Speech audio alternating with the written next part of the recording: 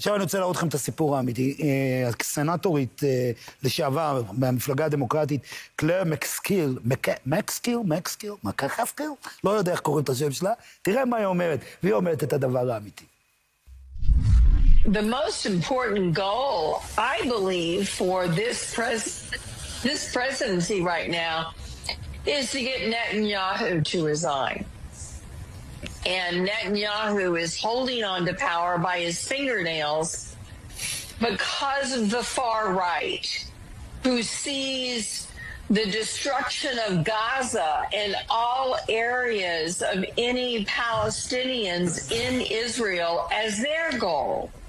טוב, וזה הדבר. זה הסיפור. ממשל הדמוקרטי לא רוצה את נתניהו מ-2009.